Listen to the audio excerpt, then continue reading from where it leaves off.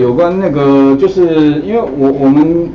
呃课表里面哈有提到有关，就是说连接那个呃资料库的部分，MySQL 部分哦，那其实我有把它放在云端讲义里面啊。如果有需要这个部分的同学哦，可以打开云端白板里面的第八个单元，这边其实有那个 VBA 与 Python 连接 MySQL 资料库哦。不过我前面有带到，就是说哈，因为 MySQL 资料库跟 SQLite 资料库哦，最大的不一样啊，SQLite 资料库是档案，可是 MySQL 呢，它是一个主机。那主机的话呢，相对的哈，就是一台 server 啦，也就是你，当然你不一定要找那种大型的电脑去安装，笔电也可以啦，只是说你需要找一个懒人包啦。那目前当然最简单的哈，如果你要架那个 MySQL 哦，虽然简单，但是还是要设定。而且啊，还要设定账号密码，连线的时候还还要给账号密码，而且你还要查出你电脑的 IP 位置。有时候连线呢，还要告诉他 IP 位置。那如果档案就简单，档案就是哪一个资料夹里面的哪一个档档案名称嘛，对不对哈？可是如果是主机的话，那就是要知道说哦，我们这个区段里面的哪一个 IP 位置才能够连线得到哦。所以第一步哈，你可能要知道哦，怎么样去安装那个 MySQL。那最简单的方法，你可以找这个 sample。sample 当然它这个版本可能比较旧了。如果你可以找到网络上有最新的话哦，你可以去安装最新的这个 sample。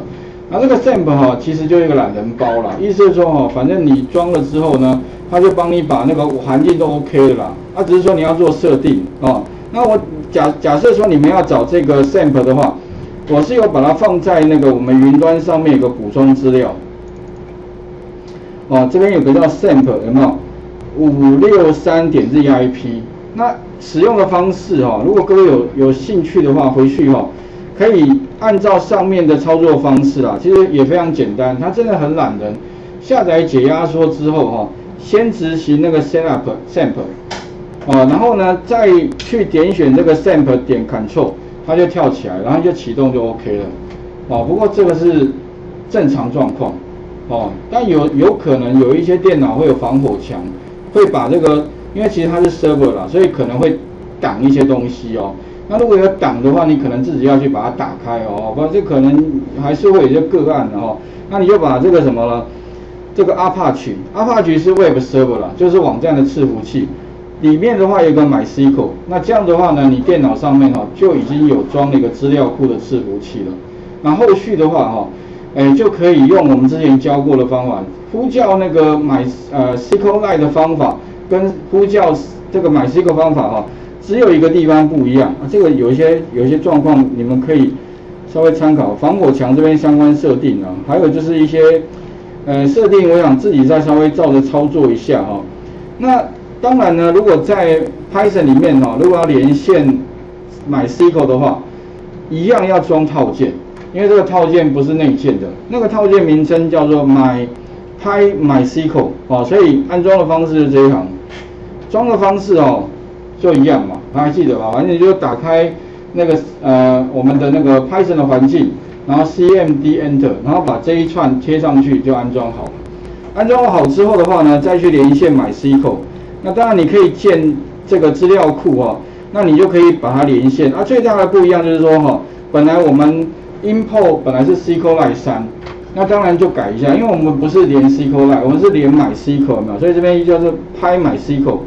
那连线的 C O M 怎么 com 哦？这个物件哦，本来是去 connect，现在的话呢也是 connect，不过呢 connect 后面哈就不是一个档案哦。而是一个 host，所以特别是 host 后面加的就是你的 IP 位置，所以你要自己查，每一台电脑 IP 位置不一样，你要自己查出来哦。OK 哈，然后呢，你的破号这个固定的，另外的话，你的账号跟密码哈，可能也要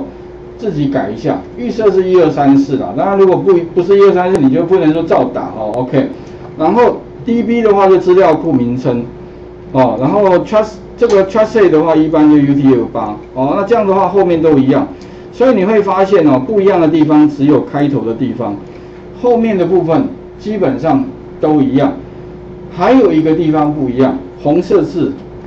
有没有？我们在那个呃 SQLite 好像是 integer，但是哈在 MySQL 它缩写了，它改成 INT，哎，我印象中好像这个地方不一样，因为之前好像就是用 int，哎，发现错误不行，改成 INT，哎就 OK 了，啊，所以大概遇到的错误大概这些啦，其他都一样，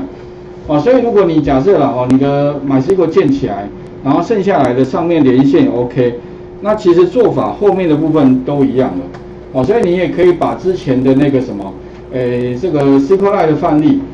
改成用 MySQL。哦，不过可能前面要架那个 server 哈，可能需要有点难度哦。反正就是把 MySQL 架起来，啊可以连线，这样资料就可以丢过去了。那其实 MySQL 非常好用，因为如果说你假设公司内部有装的话，那任何人都可以写到写到那一台资料库里面去，也可以任何电脑也可以存取。那可是如果你是档案的话，那你要给别人就不方便了。哦，可能会有这个问题哈。那其他的话，存取权限这个可能啊自己再看一下哈。那 另外的话，底下有提到有关 VBA 连线的部分。OK 哈，所以呃各位再参考一下哈，VBA 怎么新增的方法。那 VBA 的话呢，其实主要用到一个 ADO 啦，这边其实有一些语法啊，其实基本上的话，新增资料库的语法在这里。